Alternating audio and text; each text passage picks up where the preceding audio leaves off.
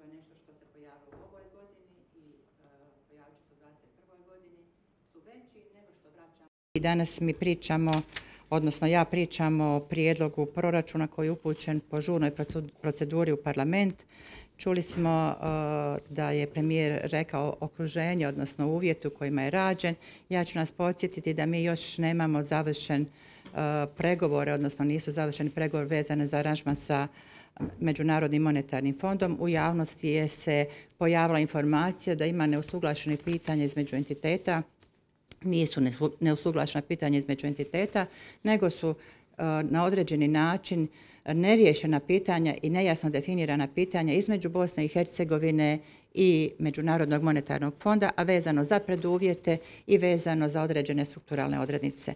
Istih razloga mi nismo mogli ranije, a znači u, dosta smo stvari završili, u pripremnim fazama, poštovali smo kalendar, nismo uspjeli uh, u dva čitanja, odnosno poslati nacrt proračuna i nakon nacrta proračuna prijedlog proračuna. Znači nismo imali zaokružen zaokružene izvore financiranja, a očito je i svjesni smo da je 20. godina drastičan imala pad, za nas drastičan pad jer je to preko 15% prihoda, a istovremeno smo imali povećane zahtjeve i e, niži razina vlasti, gospodarskih subjekata. Naravno, imali smo i zahtjeve e, zdravstvenog sektora jer su povećani troškovi na saniranju i ublažavanju posljedica izazvanih koronavirusom.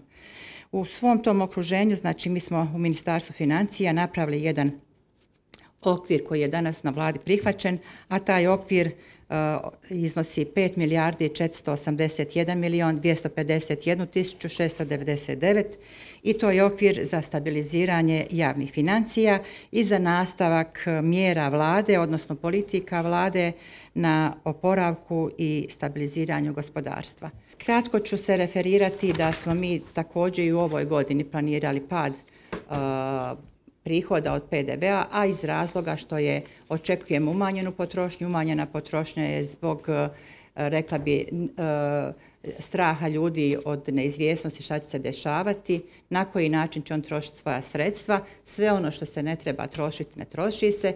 Ljudi povećano, vidjeli ste i po podacima Agencije za bankarstvo, povećana su E, štednje građana. To kaže da mi moramo stvoriti preduvjete za rećemo ne privatno, privatne investicije, privatnih investicija također će biti usporene, ali javne investicije su nešto što mi kao vlada podupiremo i prepoznajemo. Znači, pad prihoda od PDV-a je otprilike na razini kao što je bio u ovoj godini. Dalje, ćemo, dalje očekujemo ovaj, e, doprinose za penzijsko i mirovinsko osiguranje sa blagim rastom od 13%, što znači da ćemo mi ovim dodatnim mjerama vezano za zapošljavanje i stvaranje novih radnih mjesta uspjeti vratiti broj zaposlenih, negdje je to sada oko 12,5 tisuća pad e, broja zaposlenih u federaciji u odnosu na 2019. E, godinu iz tih razloga je to povećanje 13% doprinosa za mirovinsko. Svi ostali prihodi otprilike se zadržavaju ili su u blagom padu na prošlogodišnjim.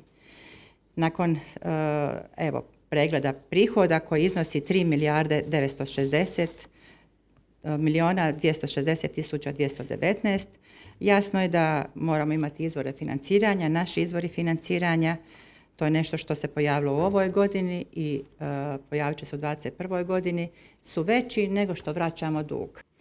Što se tiče samih izdataka, znači mi imamo uh, u strukturi proračunske izdatke, uh, otprilike se plaće, izdaci za plaće, izdaci za materijalne troškove, ugovorne usluge, Instrukcija je bila da se zadrže na ostvarenjima za 2020. godinu. Ono što zanima javnost u ovom proračunu, što mi prepoznajemo, što je novina, nešto se i ponavlja, to su tekući transferi, drugi tekući rashodi. Oni imaju najveće učešće u proračunu.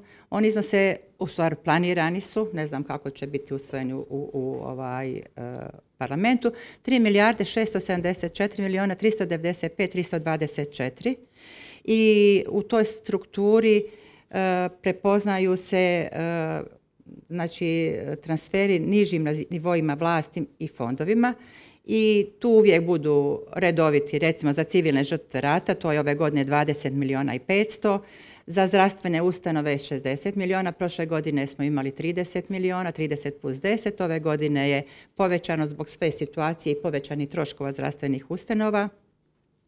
Kroz projekt zapošljavanja, znači planira se 50 milijuna i postojeći 10, ukupno 60 milijuna 561 482. Transferi županijama, odnosno kantonima je 200 e, milijuna i znači toliko je bilo i ovoj godini. E, za cijepivo smo planirali 12 milijuna i to je nešto što je vezano za memorandum o nabavci, zajedničkoj nabavci koja se koordinira sa nivoa države.